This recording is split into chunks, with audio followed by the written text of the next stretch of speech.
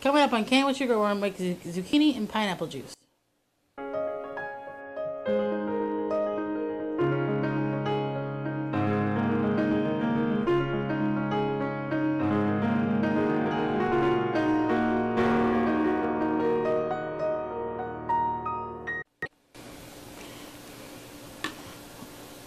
Welcome to Canning What You Grow. I'm Holly Baird. Today we are making basically like a mock pineapple. So this is one more thing you can do with your zucchini. We're going to put our zucchini with some sugar and pineapple juice and can it.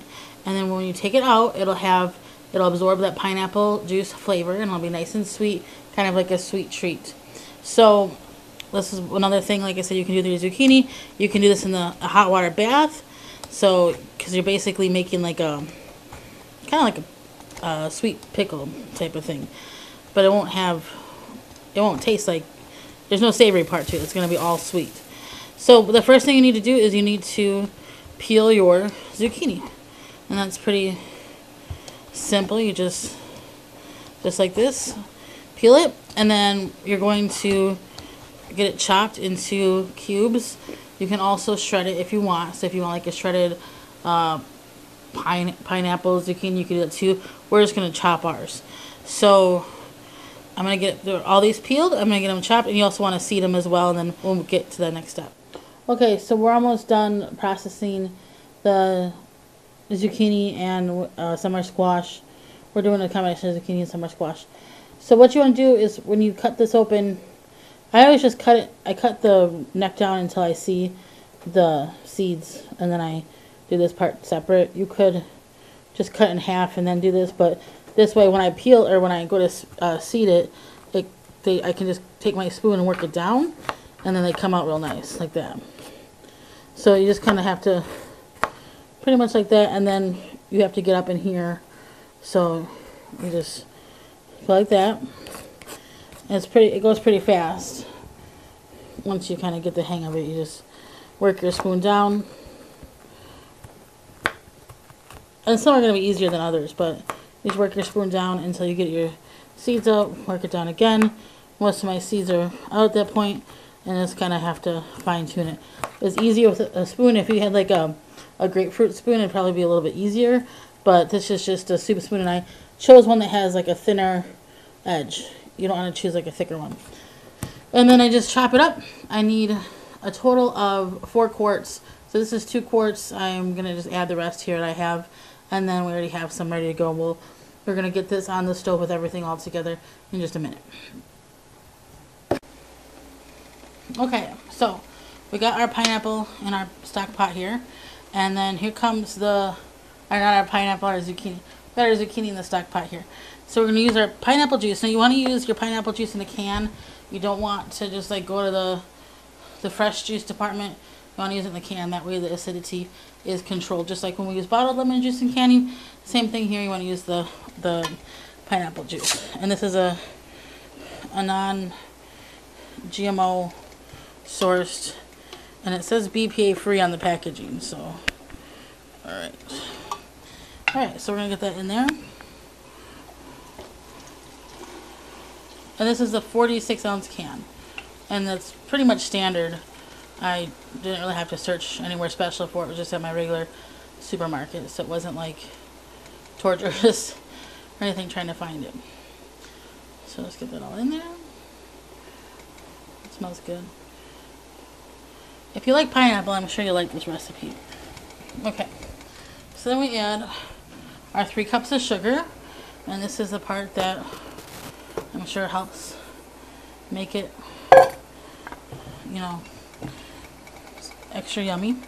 And then we add a bottle, or not a bottle, a cup and a half of lemon juice, bottle lemon juice. Okay? And so what you're going to do is you're going to let this cook. So you want to cook it for about 20 minutes once it starts to boil. I'm just stirring it all up here to get my sugar mixed in. But 20 minutes. So it's getting pretty hot already. So we're going to let it what, let it go, come to boiling, and then we're going to turn it on to a simmer. Okay, so this came to a full boil, and then we brought down to a simmer. It's been simmering for about 20 minutes, and as you can see, the squash has become a little bit more translucent and it's cooked down a little bit. When we had covered it before with the liquid, it was um, it wasn't fully covered. So then as it as it cooks down, it releases water. So you don't have to, you might like, when you start, you might be like, oh my gosh, I'm not going to have enough liquid. It's okay because it's going to release that water. So we're going to get going. We're going to get, get to canning here. And so we have, oh, let me grab my jar lifter here.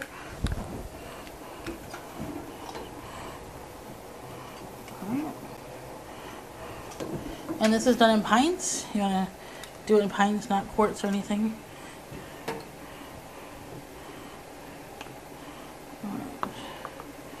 And it needs a half inch headspace. Just give it a good stir here before I get going. So I'm going to use my ladle.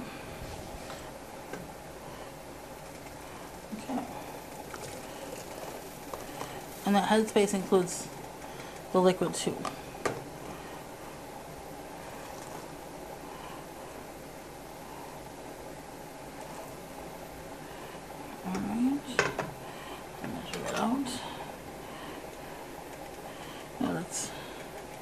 Um, just about per oh sorry let me just double check this here. I'm looking at here. That's a okay so just about perfect. Now we'll just take and wipe the rim. Go ahead and get our lid on and our ring.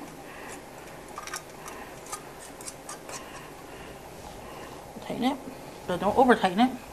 And I'm going to get this into the canner and we'll have to see, it says about 8 quart or 8 pints is what we're going to end up with. We'll have to see here. Okay, so here we go. We got our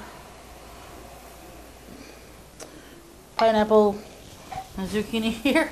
As you can hear, the the uh, lids are sealing, which is good. So I'm going to get them all pulled out here.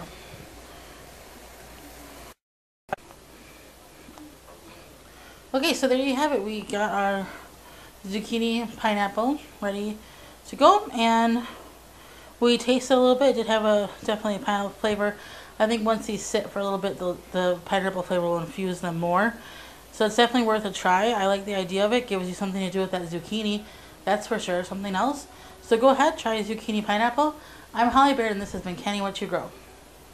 For more information please visit thewisconsinvegetablegardener.com